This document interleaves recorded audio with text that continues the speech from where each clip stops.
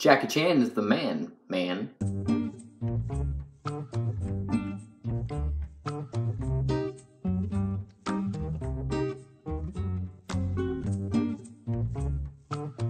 The Foreigner stars Jackie Chan as an older Chinese gentleman.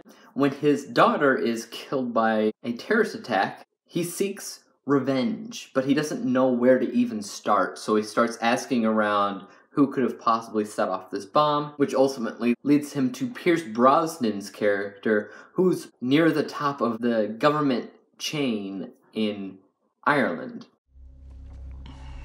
I will ring a bomb. Anyone comes in, I touch the button, and we die. Now, give me the names. They claim they're the IRA, but I don't know who they really are. I'm doing everything I can to find out who's responsible. You're lying! Who killed my daughter? I'm sorry. I truly don't know yet. The main reason I wanted to see this, and probably a lot of other people, is because this looks like a serious Jackie Chan movie, and it is. We haven't seen a lot of seriousness from Jackie Chan over the years. I'm not entirely sure about his career uh, in his foreign films, but when it comes down to American cinema, or in this case, British cinema, he hasn't really shown a lot of emotion. He's always a goofy guy because in real life, that's what he is goofy. Last time I really enjoyed one of his performances was actually in The Karate Kid, the remake, uh, where he actually broke down in tears in one scene and he it was really emotional and it was powerful from him, his perspective. And this was basically a movie all about that kind of emotion. So he's serious all of the time. And you won't be disappointed in that regard. That's totally what this movie is. The one thing that's probably a big disappointment when it comes down to the movie is the sheer fact that it's basically just Liam Neeson's Taken. You bump it up a notch instead of being taken, the daughter was killed, but in the end, it's the same basic thing. Let's get into that. We'll start off with the people category. When it comes down to the acting, I think everybody did a really good job. Of course, Jackie Chan, his ability to actually show range. He is not a forgotten actor. He knows what he's doing, and he definitely uh, submits to this role in a lot of great ways. He's wonderful. Pierce Brosnan, sometimes unrecognizable role as he's this Irish leader. He does a great job. Jackie Chan's a master, so I have to give acting 2 out of 2 possible stars. Characters, on the other hand, I don't honestly think I'll be remembering this movie so much for the characters. You're just gonna remember the movie because it's Jackie Chan. One out of two possible stars. How about the casting? I couldn't think of anybody else to play these roles. If anybody, it would probably be Pierce Brosnan, but because he did such a great job in the role with that accent and everything that made him basically unrecognizable, makes me think he's the only person that could have done that. Obviously, Jackie Chan's awesome. So I'm going to say 2 out of 2 possible stars for that. How about the importance of the characters? Pretty much everybody in the movie significantly adds to the plot, the plot direction, which I definitely enjoyed on that front. Two out of two possible stars. Chemistry, yes and no. Jackie Chan's character losing his daughter is all sad and everything, and he had chemistry with the daughter. But this isn't a movie about chemistry. That's basically all you get because the rest is just nonstop pulse pounding stuff. One out of two possible stars. Writing score. With the dialogue, I don't think I really caught anything that stuck out very well. Pierce Brosnan and his unrecognizableness speaking in Irish accents. That's not enough for me to really give this more than an average score of one out of two possible stars. Balance, I can't really say it's super balanced. For Jackie Chan's role, yes. For Pierce Brosnan, he's got this thing going on trying to figure out what's what's happening at the same time, it doesn't feel as whole as it probably should. So for that, I have to say one out of two possible stars. The story itself, it's not entirely a deep or meaningful story. It's basically, like I said, the same story as Taken, which also didn't have the greatest story in the world. It's just pure fun, which means you're not going to get a high score here. One out of two possible stars.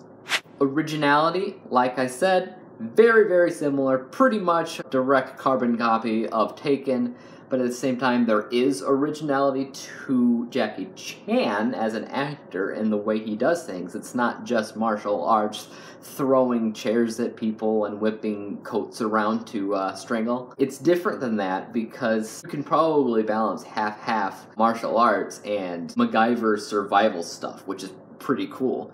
I give half points to. One out of two possible stars. Is the movie interesting? I've been waiting a long time to see it. That makes it at least half interesting, and while I was watching, my interest never stopped peaking. So two out of two possible stars for that. BTS score. Visuals, I can't really say it's amazing visuals or and anything. While I think it's a whole lot of fun to watch the fights and everything, I don't really consider that part of the visuals. The visuals in general were pretty average and basically what you'd expect to see when watching it. Uh, one out of two possible stars. I think the director did a great job, though, at making the story feel like it's important to Jackie Chan's character and in the same way important to you when watching. And not only that, but if you've ever seen a Jackie Chan movie, there's always bloopers at the end there's none of that, and I feel like the director was able to connect with Jackie Chan in order to bring out the best in him while making the film. Two out of two possible stars for director. Editing with fight scenes specifically, you get movies where the fight is way up in your face and you can't really see who's hitting who and it's upside down and it's flying around and it's just hard to see and understand what's happening. And in this regards, the editor was able to make those specific scenes make sense. And whenever that happens, I gotta give it them credit for that and say two out of two possible stars. I consider it as advertised, two out of two possible stars. There's nothing about the music or sound that really sticks out to me. I think it was as needed in order for the theme to feel right, one out of two possible stars. Narrative arc. The introduction was great. The introduction specifically started off with a bang. Literally, it really came down to Detective Jackie Chan trying to figure out what's going on until he decides, for the most part, to take action in order to find out the names of his daughter's killers, and that was the inciting incident. Two out of two possible stars for introduction and inciting incident. The obstacles, of course, uh, not only fights not only uh, MacGyver stuff from Jackie Chan, but also stuff that's going on for Pierce Brosnan's character and his family and everything all around. Two out of two possible stars. The climax, I'm, I'm sure you could probably guesstimate that this was a good culmination of everything else, which it was. Two out of two possible stars. Falling action, calms down a little bit, but there's no real new norm that's different from how it began. For that, I'm gonna say one out of two possible stars. Entertainment! Do I consider this a rewatchable movie? Absolutely. I would never have a problem going to look for The Foreigner in order to watch it again because it's that kind of movie.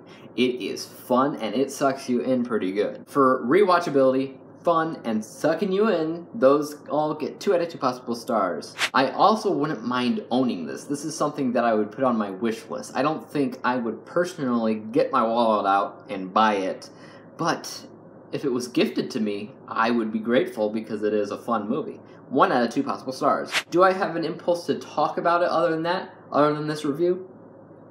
I can't really say that I do. It's it's a fun movie, and that's really all it comes down to. Zero. Specialty. As a Jackie Chan movie, no matter what you're thinking, emotional or not, you expect action. It is Jackie Chan after all, and action is definitely what you get. 10 out of 10 possible stars. Drama. It looks like Jackie Chan's dramatic, it looks like Pierce Brosnan's dramatic. Does it overall feel like a drama movie like it should? even though there's a lot of action going on, it is very emotional, and that's what makes the drama thrive. So 10 out of 10 possible stars. Specifically with Jackie Chan playing the drama. This is different. This is specifically Jackie Chan. I know he's got it in. him. Personally, I think he did a better job at feeling more emotional and dramatic in that one little scene in Karate Kid. But he did a very, very good job in this regardless. So I'm to actually say this 10 possible stars. As a Jackie Chan movie in general, he's done a million of them, so when somebody brings him up, what am I gonna say? I would honestly pick this as one of his better movies because it stands out. Whether they wanted it to or not, it stands out. Um, so 10 out of 10 possible stars there. And is it halfway decent? You bet your booty it is. 10 out of 10 possible stars. If we add all that together, we get 88 out of 100 possible stars. 88%, which means this was a good movie. Guys, tell me what you thought about The Foreigner in the comments down below. Follow me on Twitter and Trakt.tv at username I A M DWG, that's I am and for YouTube, as always, you can subscribe to me, like me, and hit that bell to be notified when I come out with my next movie review, which will be tomorrow, and it will be MTV's The Real World Movie, The Lost Season, which is the hardest movie to find. And I'll talk more about that again tomorrow, but tune in. Tune in because there's some great stuff I want to talk about. Other than that, guys, see you guys tomorrow. Peace out.